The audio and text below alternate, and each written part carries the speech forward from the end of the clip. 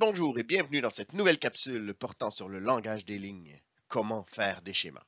Donc aujourd'hui, mon objectif est de vous donner différents trucs pour faire des dessins techniques et aussi pour vous rappeler certains éléments que vous avez vus dans les années antérieures.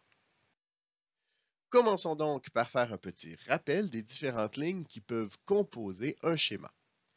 Ce sont des notions que vous avez vues dans les années antérieures, mais il peut être utile de se rafraîchir un peu la mémoire. La première ligne est la ligne de contour visible, représentée par un trait fort et continu. Elle sert à délimiter l'ensemble des objets formant notre système. La deuxième ligne est la ligne de contour cachée. C'est une ligne de trait moyen et pointillé qui sert à indiquer une délimitation de notre objet qui est cachée par une composante de celui-ci.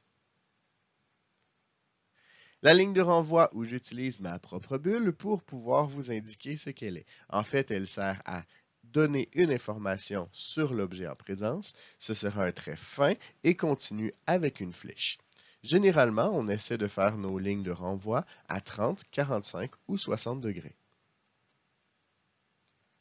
La ligne d'axe permet d'indiquer le centre d'un cercle. Elle est représentée par un trait fin et laisse voir un petit trait au centre de deux grands traits. Au niveau de ma ligne de cote, j'aurai pour commencer ma ligne d'attache. C'est un trait fin et continu qui délimite ma ligne de cote. Et évidemment la ligne de cote qui va pouvoir nous indiquer la dimension d'un élément de notre schéma.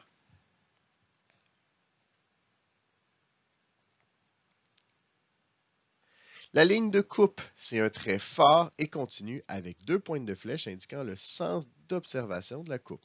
Elle sera utile pour couper un objet et indiquer un élément en particulier. Évidemment, lorsqu'une pièce est ainsi coupée, nous devrons mettre des hachures pour indiquer que l'objet en réalité continue.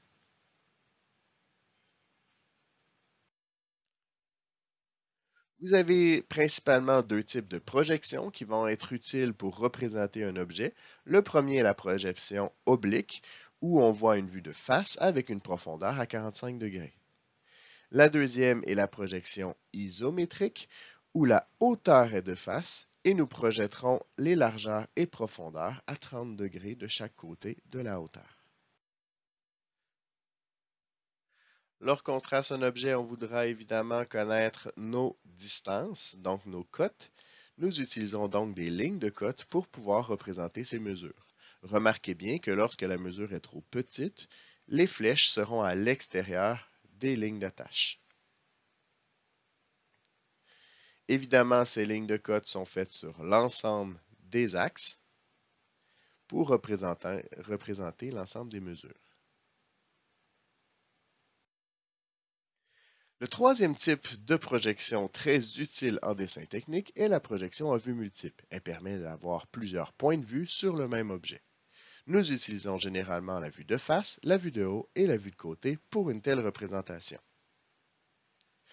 Petite astuce pour vous permettre de sauver du temps, une fois vos mesures de hauteur et de largeur prises pour votre vue de face, vous pouvez réutiliser ces mesures pour votre vue de haut et votre vue de côté. Je m'explique. Si on projette les largeurs vers le haut, on sait que ce sera les mêmes largeurs pour la vue de haut, donc on peut réutiliser ces mesures. Même chose pour les hauteurs que l'on pourra réutiliser pour la vue de côté. On peut aussi retrouver la profondeur sur la vue de côté et la vue de haut. Comment on fait? On va tracer un axe de symétrie où on va projeter nos lignes. Une fois le schéma complété, nous devrons identifier l'échelle utilisée pour représenter ce schéma. Posons donc une profondeur de cet objet égale à 40 mm. Comme dans notre schéma, nous avons utilisé 80 mm pour le représenter, nous allons inclure ces données dans ce tableau. Le tableau n'est pas essentiel, mais il permet de bien visualiser le calcul à faire. Pour établir notre échelle, nous utiliserons 1 comme base du plan. pour savoir quelle mesure ça nous donne. Et on voit évidemment que ça donne un produit croisé. Donc, ça nous donnera une échelle de 1 pour 0.5 ou si vous préférez, de 2 pour 1.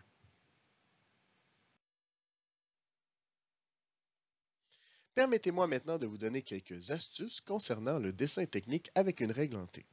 Première astuce, toujours s'assurer que notre feuille ne bouge pas, que notre feuille soit bien fixée sur notre table à dessin.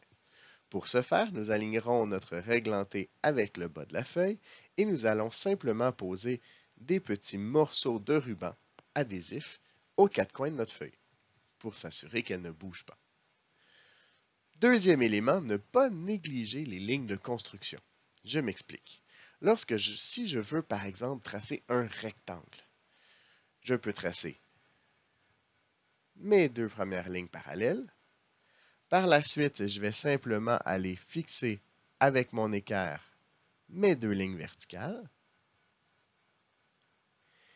Et finalement, je vais aller tracer avec un trait fort la ligne de contour de mon rectangle. Une fois que cette ligne est tracée, nous pourrons facilement effacer les lignes de construction qui avaient été faites avec un trait fin, donc facile à effacer. Autre astuce, pour tracer des angles, au lieu d'utiliser un rapporteur d'angles, plusieurs angles peuvent être tracés avec nos équerres. Donc, vous avez évidemment les, angles de 30, 45 et 60 degrés qui sont très faciles à tracer, mais aussi des, des angles de 75 et de 15 degrés que vous pourrez faire avec des combinaisons d'équerres. C'est ce qui met fin à cette capsule. J'espère qu'elle vous a plu. Sur ce, je vous dis à la prochaine.